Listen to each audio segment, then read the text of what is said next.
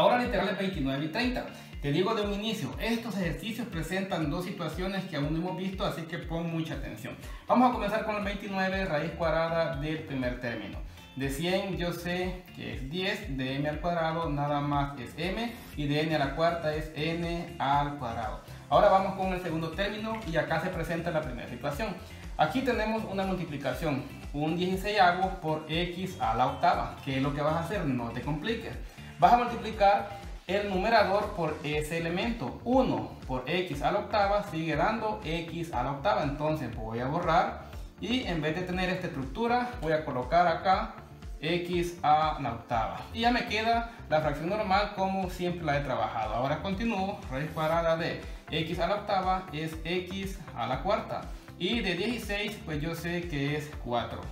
Y ahora que ya tengo las dos raíces, vamos a abrir doble paréntesis. Abro, cierro, vuelvo a abrir y vuelvo a cerrar. Ahora esta raíz es a la parte de adentro. Me va a quedar 10 m al cuadrado y la fracción x a la cuarta sobre 4. Se repite acá 10m n al cuadrado y la fracción x a la cuarta sobre 4 y complemento con un signo más acá y un signo menos acá y listo, esto que se ha formado es mi respuesta ahora literal 30 y aquí está la segunda situación que te mencioné a un inicio, mira bien Podemos ver que en ambos elementos, al observar sus exponentes, tenemos número, pero también variable. Y este caso no se nos había presentado. yo sé que genera cierta duda. Pero tranquilo, no te compliques si no recuerdas lo siguiente. Dijimos que cuando le sacamos raíz cuadrada a variables, el exponente lo dividimos entre 2. Entonces mira qué es lo que sucede.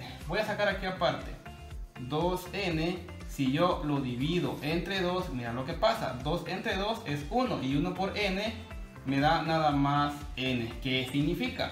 Que el trato nada más es entre números y las variables se mantienen siempre iguales. Entonces ya podemos sacar raíz cuadrada.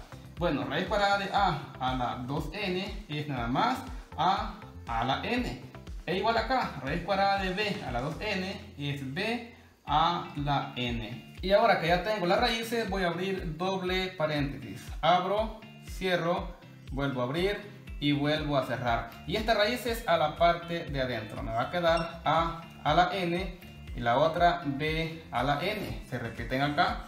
A a la N y la otra B a la N. Y complemento con un signo más acá y un signo menos acá. Y listo, esto que se ha formado es mi respuesta.